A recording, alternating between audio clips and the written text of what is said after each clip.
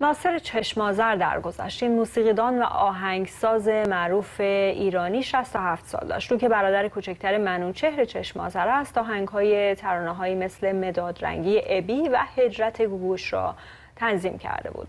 دوباره هم سیمرغ بلورین دوبار هم سیمرغ بلورین بهترین موسیقی متن را در جشنواره فیلم فجر کسب کرد. مهدی بیگی نگاه کرده به زندگی هنری او.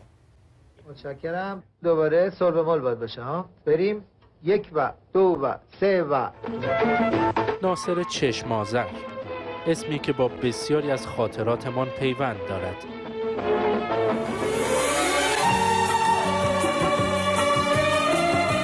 سازنده یا تنظیم کننده بسیاری از این آهنگ ها و ترانه ها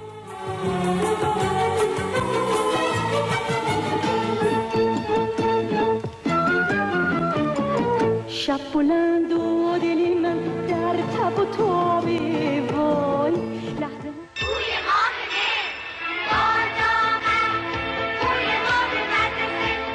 بوی ماه مهرمان را ساخت.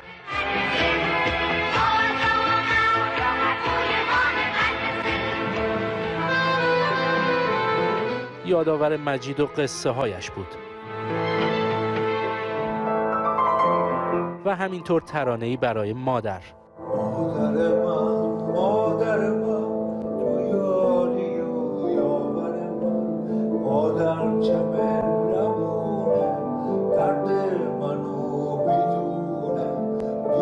ناصر چشمازر در سال 1329 در اردبیل متولد شد.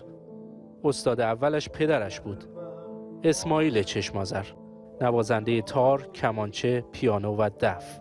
ناصر اما آکاردئون می‌زد.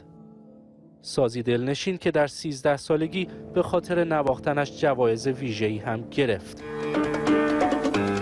در 17 سالگی رهبر ارکستری در سفارت ایران در عراق شد و در 18 سالگی سفرهایش را با گوگوش آغاز کرد بعد برای فراگیری موسیقی جاز به آمریکا رفت بعد از بازگشت نزد استادانی مثل مرتزا حنانه و ملیک اصلانیان دوره های تکمیلی موسیقی را گذراند. او را همچنین از پیشگامان موسیقی الکترونیک در ایران می دانند. او حدود ده آلبوم موسیقی منتشر کرد از جمله باران عشق، طلوع عشق و شکوفه های ایران.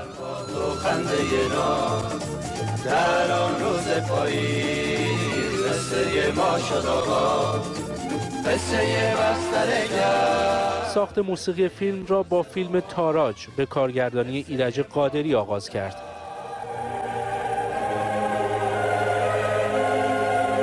برای فیلم های زیادی از جمله هامون، خواهران غریب، قارچ سمی، شمعی در باد و گشت ارشاد موسیقی ساخت.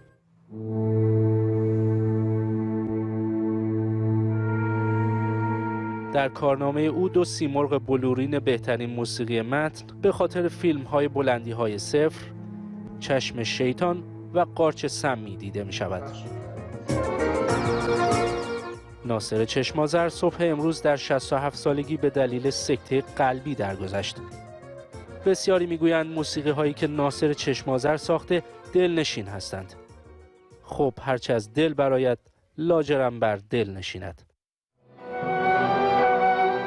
جایی در مصاحبه ای گفته بود از من می‌پرسند چند وقت روی این آهنگ کار کردی می‌گویم دلیست و بداهه زدم می‌زنم و می‌خوانم من شاعر سر خودم خواننده سر خودم.